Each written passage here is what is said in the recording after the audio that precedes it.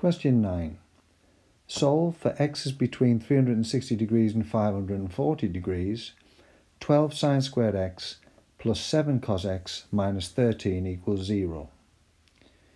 Now in this kind of question we try to form a quadratic equation in either sine x or cos x. And here it's far easier to form the quadratic equation in cos x because sine squared can be written as 1 minus cos squared. So the first line of our working is 12 1 minus cos squared x plus 7 cos x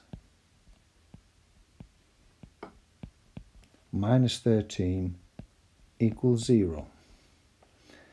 Expand the bracket and we get 12 minus 12 cos squared x plus 7 cos x minus 13 equals 0. Now we'll take everything to the right hand side where the cos squareds will be positive. So we'll leave 0 on the left and that will be equal to 12 cos squared x.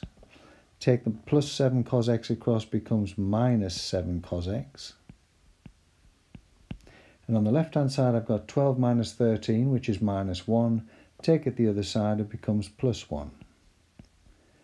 Now here I can either factorize this to find cos x or I can use a calculator. And if I use the calculator to solve that quadratic with coefficients 12, minus 7 and 1, I find that cos x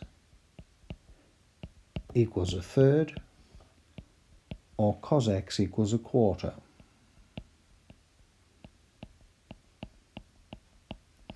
Now we have to find the answers between 360 and 540.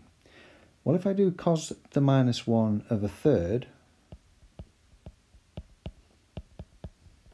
I find that's 70.5 degrees.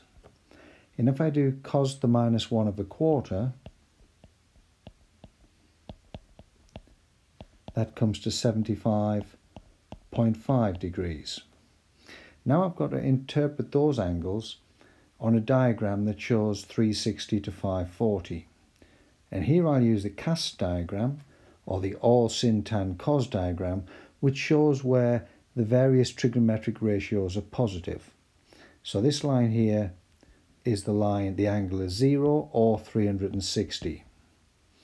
And now cos the minus 1 a third is 70.5 degrees which is in that first quadrant. And the other place where cos is positive is in the fourth quadrant. So when I'm working out what these angles are, I have to go around once to get to 360, but as I come around the second time, when I've turned through 70.5 degrees, I will have an answer between 360 and 540. So the answer is 360 plus the 70.5, which is 430 0.5 degrees.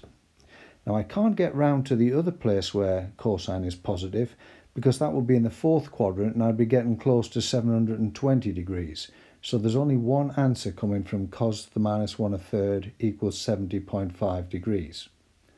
But I can also look in the same way with cos the minus 1 a quarter is 75.5 degrees.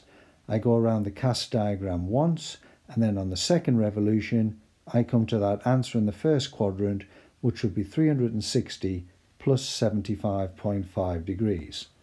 And that is 435.5 degrees. And they're the only two answers in the range we're looking at.